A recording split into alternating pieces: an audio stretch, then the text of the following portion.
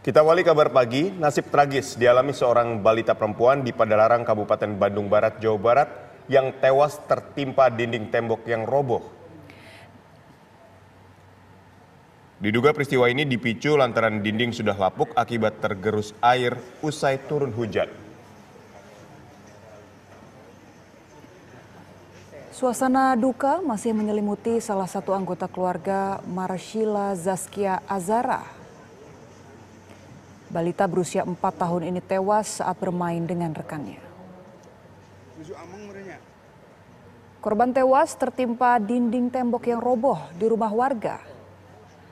Korban sempat diselamatkan kerabatnya yang begitu kejadian mendengar suara reruntuhan tembok. Namun karena luka yang cukup serius, korban akhirnya meninggal dunia. Sementara teman korban Muhammad Hafiz lolos dari maut mengalami luka ringan di bagian kepala.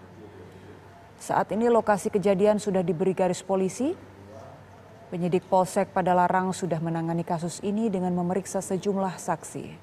Namun pihak keluarga tidak bersedia untuk melakukan autopsi korban karena menganggap peristiwa ini sebagai musibah.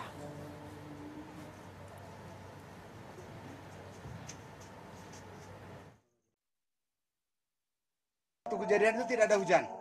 Ya. Eh, jadi pasca hujan lah sebenarnya. Nah tapi karena ini benteng sudah kondisinya sudah rapuh, ini melihat kondisi eh, benteng rapuh. Jadi pas eh, kejadian ada dua korban begitu pak? Dua dua korban. Berdasarkan keterangan anak-anak yang korban itu, yang satu loncat, yang satu tidak sempat loncat, dia tertimbun, eh, tertimbun runtuhan benteng.